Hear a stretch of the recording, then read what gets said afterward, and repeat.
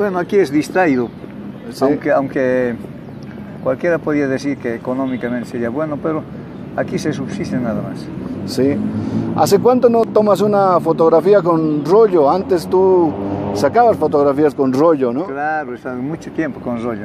Mira, eh, con rollo no estoy sacando más o menos entre 10 años, alrededor de 10 años. 10 años será, ¿no? Sí, más.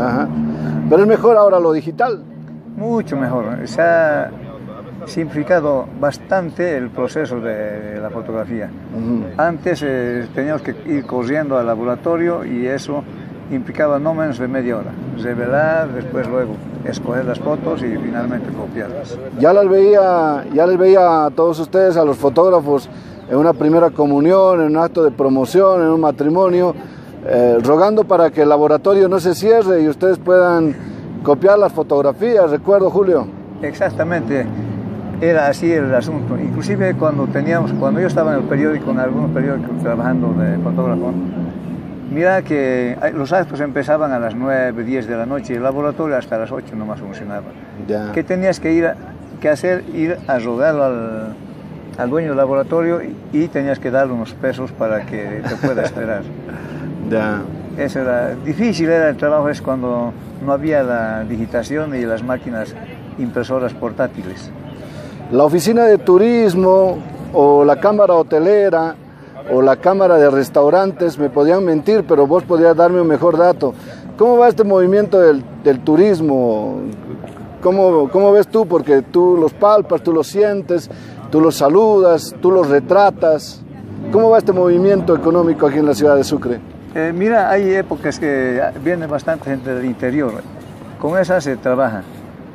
Pero la gente del extranjero mm, vienen y nunca el extranjero te puede comprar una foto, sea quien sea. No compra, no sé. Ellos tienen máquinas, todos tienen sus máquinas, y, pero ni, ni por ni por eh, casualidad te pueden comprar una foto del extranjero.